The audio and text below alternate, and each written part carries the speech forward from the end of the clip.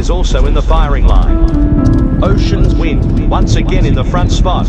Nocturnal Rider in second, neck and neck with Hungry Chorus. And here comes Destiny's Dream. Showy Revenge leading the charge. On the inside, it's Free Dancer, just in front of Hungry Chorus. Two lengths behind, it's Destiny's Dream. The race continues with Showy Revenge. Destiny's Dream needs to get into a better place. Beauty's Suspicion is coming with a huge run. Dream Dimple gaining momentum and flying through. Free Dancer in first position. Out deeper on the track is Destiny's Dream from Showy Revenge. Once again in the front spot. As expected, the favorite taking the lead. finishing on a high note. That's what the papers said of your grandfather's final victory. And it was well deserved.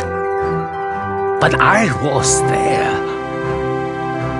I knew the reason he did it was for the thrill, the sport, and especially family.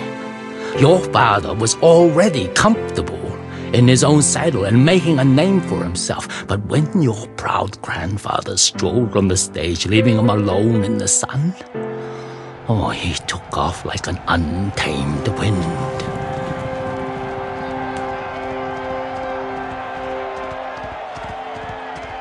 But then, of course,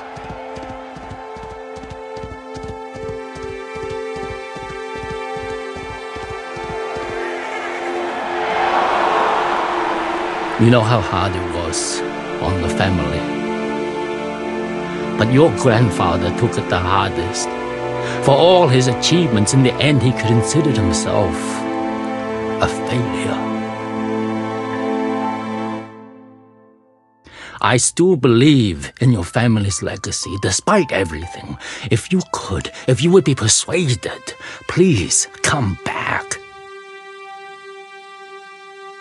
I believe together we can return this homestead to the height of its glory days. Yours faithfully, Francis Kwan.